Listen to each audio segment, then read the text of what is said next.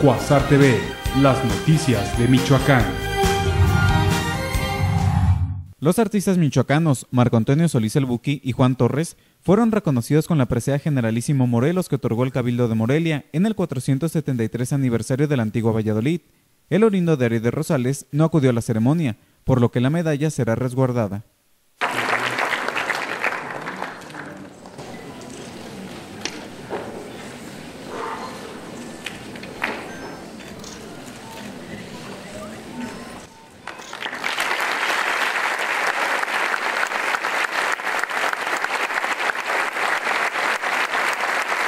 Luego de haber sido condecorado, Juan Torres agradeció a su familia, público y personas que lo nominaron, afirmando continuará trabajando para el bien del Estado compartiendo los conocimientos con sus alumnos.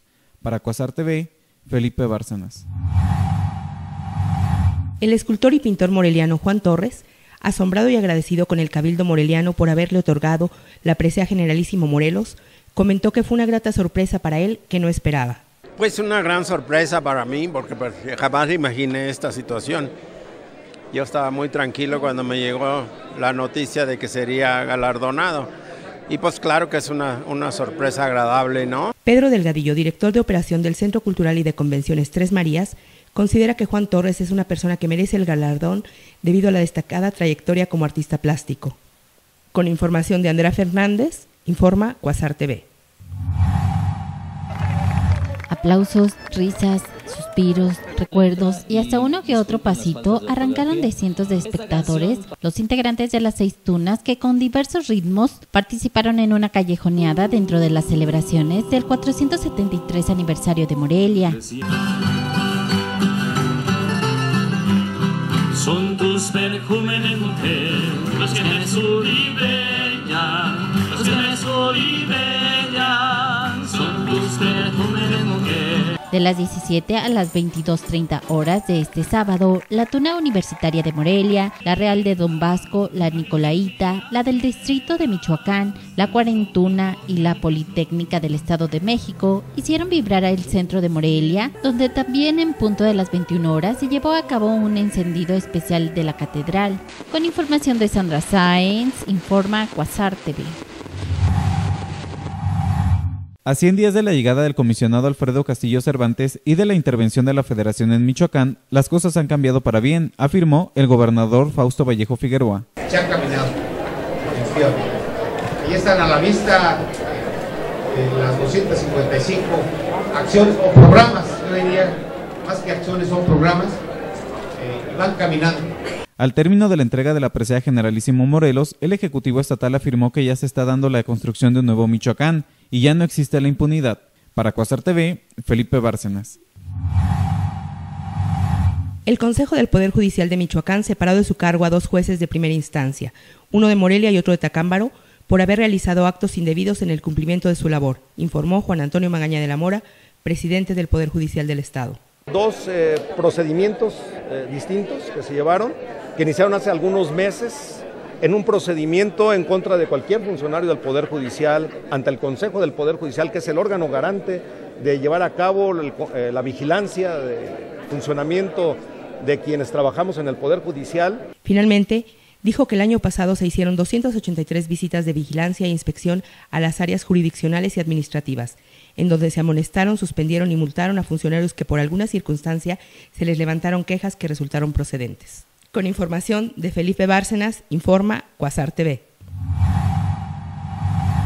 Provenientes del Estado de México, Cuernavaca, Querétaro y Tlaxcala, más de 1.200 personas integrantes de la ruta turiste arribaron a Michoacán para recorrer durante tres días y dos noches los municipios de Uruapan, Ciracuaretiro, Paracho y Chiragüen. Estamos muy contentos recibiendo en Uruapan a 22 autobuses con más de mil personas provenientes de seis ciudades de la República que vienen a iniciar un recorrido de tres días y dos noches eh, por Uruapan, eh, Siracuaretiro, Siragüen, eh, Paracho. Jubilados y pensionados del ISTE, en su mayoría estas personas llegaron a Michoacán en el marco de este programa impulsado por el gobierno federal y estatal para atraer turismo a la entidad. Se prevé que en este viaje dejen una derrama económica superior a los 2 millones y medio de pesos. Con información de Sandra Sáenz, informa Quasar TV. El diputado panista Alfonso Martínez Alcázar denunció que se han cometido mapacherías y marrullerías electorales durante las primeras horas de la jornada comicial para renovar el CEN y el PAN. Asegura que pugnará por la expulsión del partido de quienes resulten responsables. No sé a qué sanción serían merecedores, pero mínimo pugnaríamos porque sean expulsados del partido, porque en el PAN no queremos mapaches, en el PAN no queremos personas mañosas que adopten esas prácticas que siempre criticamos. Martínez Alcázar dijo que es una conducta reprobable, que ahora en el PAN se repitan prácticas antidemocráticas que durante años criticaron. Para Cuasar TV, Andrea Fernández.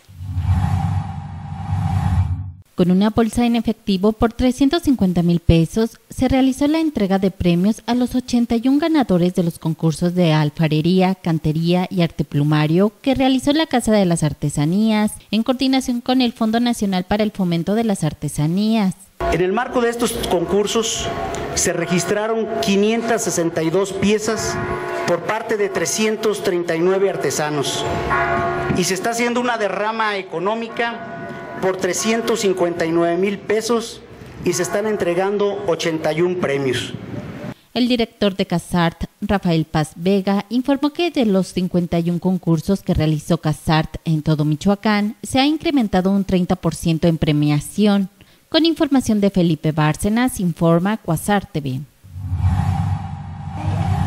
Cansados, sudorosos, pero con entusiasmo, se encontraban los más de mil participantes en la novena carrera atlética Camina, Corre y Trota por Michoacán, realizada en el marco del 473 aniversario de Morelia. Esta carrera atlético recreativa de 5 kilómetros y categoría libre tuvo como punto de salida y meta la Fuente Las Tarascas, para continuar su trayecto por el emblemático acueducto hasta llegar al Templo del Niño de la Salud y regresar al lugar de inicio. El organizador general de la carrera, el ex corredor olímpico Enrique Aquino, explicó que el objetivo es impulsar a través de la activación física la reconstrucción del tejido social en el Estado. Para Cuasar TV, Andra Fernández.